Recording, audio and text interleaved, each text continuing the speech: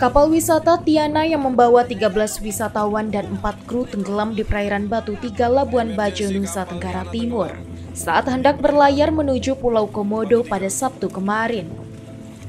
Awalnya kapal layar motor Tiana berlayar menuju Pulau Komodo.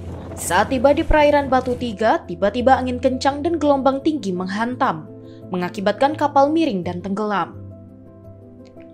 Dalam video yang sempat direkam ini terlihat sejumlah wisatawan tampak berusaha menyelamatkan diri usai dihantam angin dan gelombang tinggi.